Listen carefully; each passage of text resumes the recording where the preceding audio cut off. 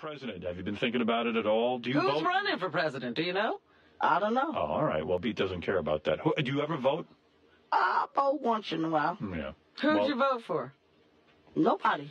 They got uh, they got three main candidates on on the Democratic side. They got Barack Obama, I just said they ever got Baraka. right? They got Hillary Clinton, Oh, they got Clinton, but Clinton didn't want to do it. right? And then you got um, John Well, McCain, who's well a John Republican. Kane didn't want to lose, but he didn't want to win. And they feel that Ralph Nader might even enter the contest. Oh, he probably in the contest, but he won't be ever. Mayor Bloomberg could enter the contest. Uh, could be. Yeah. How about Abraham Lincoln beat? How about Lincoln? He ain't been in there for like for 12 years. All right. Pretty good. Not bad. He knows more than You're than trying you to fool him. Who's the president now? Hey, you know, you know, is the president? Plus, who's the president? Yeah. Moss friend.